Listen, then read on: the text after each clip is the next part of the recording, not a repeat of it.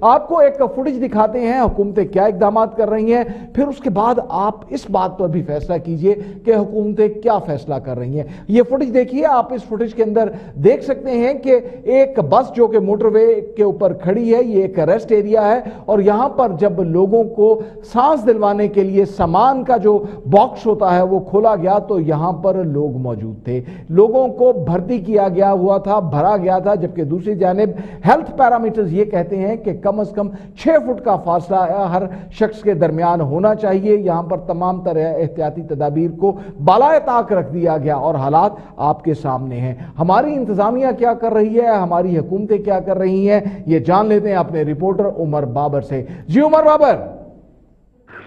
جی رائے صاحب، بالکل، جیسا کہ انتظامیہ کی جانب سے تمام جو بس سٹینڈز ہیں، ان کو مکمل طور پر بند کرنے کی ہدایات کی گئی ہیں، لیکن ٹرانسپورٹر حضرات کی جانب سے ان ہدایات پر مختلف مقامات پر دیکھنے میں آیا ہے کہ عمل نہیں کیا جا رہا ٹرانسپورٹر حضرات جو ہیں، وہ مسافروں کو جہاں پر سامان رکھا جاتا ہے، وہاں پر چھپا کر شہروں سے نکال رہے ہیں۔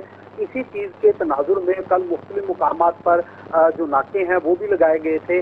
آج بھی جو ہے، وہ جین مندر کے پاس ملتان روڈ پر عمر بابر مجھے سمجھ نہیں آیا ان ناکوں کا فائدہ کیا ہوا؟ سوائے عوام کی آنکھوں کے اندر دھول جھونکنے کے یہ لوگ کر کیا رہے ہیں؟ یہ موٹر وے ہے مین روڈ ہے آپ کی۔ یہاں پر اگر آپ کو ایسی بڑی بڑی کمپنیز کی بسیں ملتی ہیں جہاں پر سامان کے خانوں کے اندر مسافروں کو چھپا چھپا کر لے جایا جا رہا ہے پیسے بٹورے جا رہے ہیں نقدیاں کھری کی جا رہی ہیں۔ وہاں پر ایڈمنسٹریشن کہاں پر ہے؟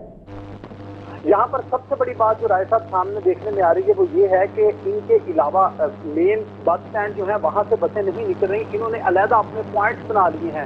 یعنی کہ شہر سے نکلتے ہی جو باہر مین شاہراہ ہے، وہاں پر کھڑے ہو کر مسافروں کو وہ کیری کر رہے ہیں اور اسی طرح چھپاتے ہوئے لے کر جا رہے ہیں۔ تاہم انتظامیہ کی جانب سے مختلف مقامات پر جرمانے بھی کیے جا رہے ہیں، لیکن جس طرح سے ہدایات پر عمل کروانا چاہیے، انتظامیہ اس میں مکمل طور پر جو ہے، وہ بہت بہت شکریہ آپ کا۔ عمر بابر، حالات یہ ہیں اور ہمارے رپورٹر یہ بتا رہے ہیں کہ مختلف جگہوں کے اوپر ناکے لگائے جا رہے ہیں۔ ان ناکوں کا فائدہ کیا ہے؟ سوائے اس کے کہ عوام کو زحمت دی جائے، بجائے اس کے کہ آپ ان لوگوں کو چیک کریں، آپ کی انٹیلیجنس اتنی سخت ہو کہ آپ ان لوگوں کو قابل گرفت بنا سکیں۔ اب صورتحال یہ ہے کہ یہ وبا یہ وبا، یہ بیماری، یہ موت بڑے شہروں سے چھوٹے شہروں کی جانب بستیوں کی جانب، گوٹھوں کی جانب، گاؤں اور دیہی علاقوں کی جانب منتقل ہو رہی ہے۔